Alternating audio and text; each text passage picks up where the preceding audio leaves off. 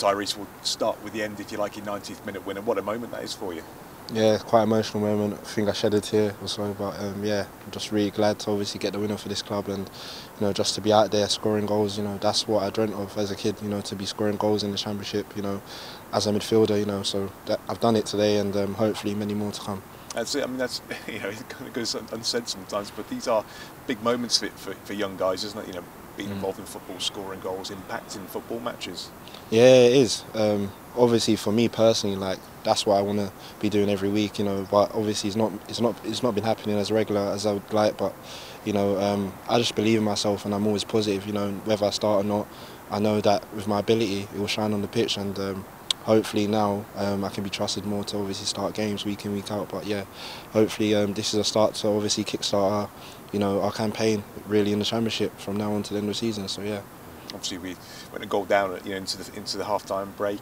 Andy Carroll gets the first one, and you know, very similar circumstances. You know what you're thinking when he goes up 90th minute to win that first header. It's about kind of those getting on the scraps, isn't it? Sometimes. Yeah, it is. Um, you know, the gaff always goes on about midfielders having instincts, you know, to be in and around the box. And for me in particular, he's always on to me about that because he can see that I've got ability, but it's the other side to the game that I need to obviously patch up on. And uh, hopefully, I'm showing him today, you know, that I can do that. So yeah and there were a few boys. I mean, I mentioned to, to him too. You know, Nesta's come off the bench and Femi's come off the bench, and you know, you all young guys, you know, sort of early twenties and stuff, trying to um, you know, trying to inject that energy and, and, and something different and, and prove your worth, if you like.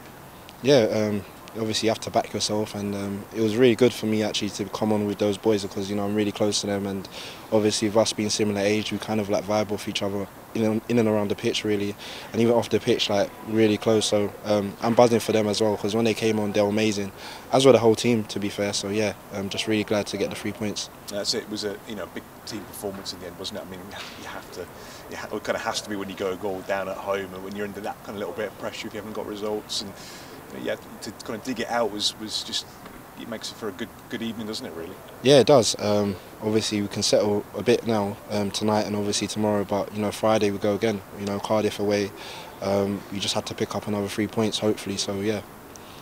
yeah it keeps it. We kind of get back on that, you know, kind of climbing the table again a bit because we, you know, we, after that. Uh, we got a kind of point a couple of weeks ago, a week ago against uh, Watford, but then Sunderland we just kind of want to get in that momentum, that swing, and, and kind of see the points tally ticking and get to where we want to be, really. Yeah, that's how it has to be. Um, obviously, today we picked up three points, but as you as you're saying, you know, you're right. Um, obviously, we just need to start getting results again, and um, obviously relieve the pressure off us as a as a club, really. So yeah. And, and lastly, yeah, you touched on, on Cardiff. You know, we're going to go there and on, on a Friday night in front of the Sky cameras and back yourself again. Yeah, yeah. Um, not just me, but the whole group. And you know, we believe in each other. You know, we trust each other on the pitch, and even off the pitch. You know, we're, we're, great characters. You know, and the boys really show love to one another. So, you know, we've got to do that on the pitch every week now. You know, from obviously now to the end of the season. So yeah.